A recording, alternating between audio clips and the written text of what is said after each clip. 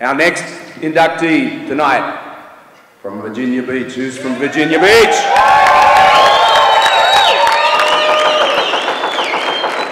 Jason Borte says he is. He put his hand up.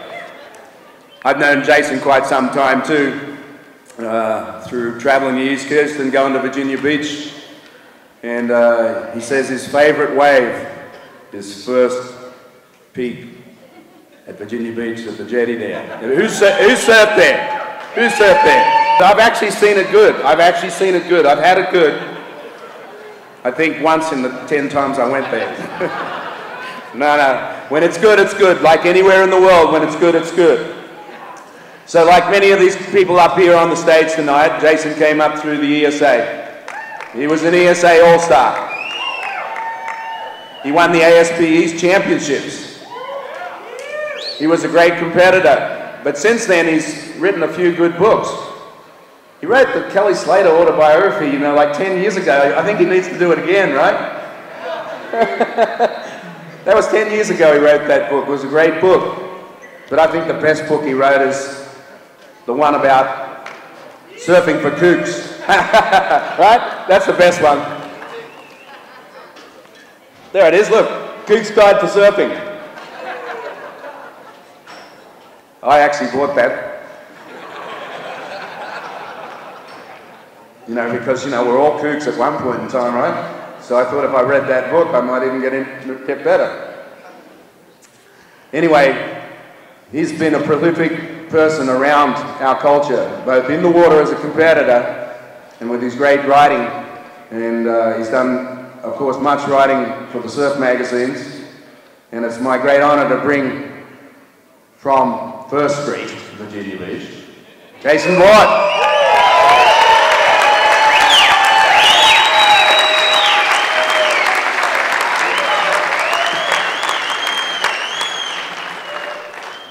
Well, I'm kind of the anti-hunter. I don't really.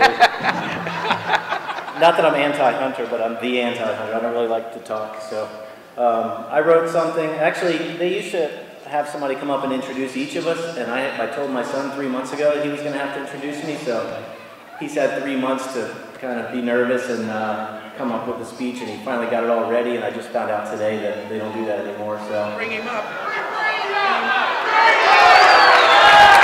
He made me promise I wouldn't do that, but no, you don't have to. You're good, you're good. So, I don't really like talking, but I wrote some stuff, and I don't know if it's a speech or what, but I'm going to try to read it, and if I can't get through it, I'll have him come up and help me. So.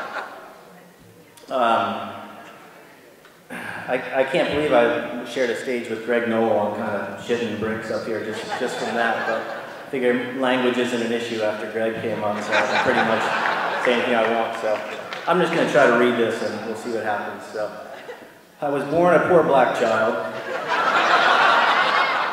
Um, no, I mean, I think there's been a mistake and I'd like to call for a recount. I don't, I don't think I belong up here really, but I was lucky. I had parents who uh, moved within biking distance of the beach when I was 12 and there's an hour long bike ride, but when you're stoked, that's biking distance, I guess. Um, I was lucky I had a brother who let me tag along. I was lucky there was a whole crew at First Street, First Street, in Virginia Beach um, that could push me, like Pete Smith, Mike Jones, Damian Bivick, Cap States, Brad Harrell, Drew Todd, Chris Todd, Jason Griffith, Seth Brody, Jeff Hunter, all these guys. Um, I was lucky there were older guys to kind of guide me, guys like Steve Avery and Brad Beach, John West, Paul West, uh, Joe Strickland, Twig, Harry Fentress, Smitty, Alan White, uh, somebody else. Ken Hunt, Giddy Up Cowboy. Um, I was lucky I had a wife who realized that surfing was my first love and let me do it quite a bit. So I was lucky Jesse Fernandez taught me a thing or two, about a thing or two. I was lucky Mez and Pooch took me on some surf trips, took some of these pictures. Um, I was lucky Steve Hawk taught me about writing and let me work at Surfer. Um, I was lucky I had the best surfer on the East Coast in the 80s to look up to, literally, Hey Wes. Uh, sorry about roasting you when I presented you here a few years back, but what do you expect, you know? Um, then, so eventually my brother tricked a local shop into paying me to surf, or talked him into it, I don't know, it seemed like he tricked him into doing it. But around that time I also started teaching people to surf. And I was lucky enough to travel doing camps with Matt Keckley, the oldest Grom in the world and the funniest. And uh, Keck taught me how to run a camp and, and how to trap giant Cuban rats. And uh, so I started my own camp, and I taught thousands of people to ride waves, thousands of people. And, yeah, I'm that guy. So most surfers don't like the idea of other surfers, and you know we're selfish. We're selfish about people messing with our waves, and we're selfish about protecting the environment. So I figure if everyone surfs, then the world's in good hands because we won't let anyone ruin it. So, so whatever accomplishments put me here, I don't really give a shit. Um, I can say that. Thanks, Greg. Um, all my trophies are gone. I think I had one from 1983, my first one, but that's it. So even this honor, I kind of tried to blow off, but my parents bought tickets, so they said it was a big deal, so I sort of had to come. Um, I'm like, I didn't really do anything, you know. I was like any other kid who rode a wave and wanted to do it again and again and again, and I was lucky enough that I was pretty good at it, and so I got to kind of make a living at it. But um, what I did to get here isn't really important to me. It's what I do with it that matters. And I think when you're lucky, you pay it forward. And I don't, I don't see enough people doing that. I see plenty of people trying to cash in on surfing. I saw thousands of them walking around today. Um, good, luck to them. But uh, so I, I quit surfing a few years back just to see what would happen.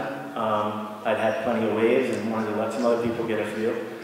Um, I didn't. I quit for a year. I didn't die. I didn't forget how to surf. I wasn't angry. I learned. I grew, and it made me appreciate just how lucky I've been. And people pay me to teach them how to surf now, but lots of people can't and won't get to experience this thing. Um, I teach middle school in a kind of rough area, and if anyone asked, I was sick today. So um, I think about what surfing can do for those kids. You know, I look at Kelly, and he was poor his life, his family was crumbling, and he went surfing to get away from that. And riding waves was kind of his getaway. So um, I get to borrow a school bus in the summertime, and I get to pick up these poor kids and take them surfing, and they realize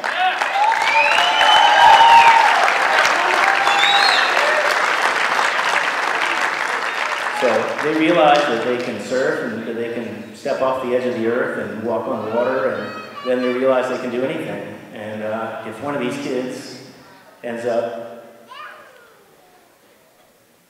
getting to uh, see some of the places I've seen, to meet some of the people I've met, to live the life I've been lucky enough to live, or just gets the confidence to follow his dreams, then I will have accomplished something.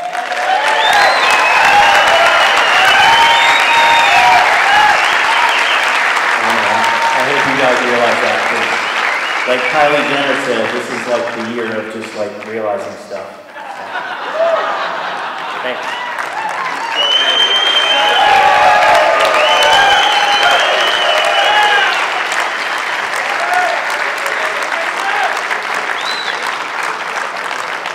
You see, when you have journalistic skills, you can write a good speech, right?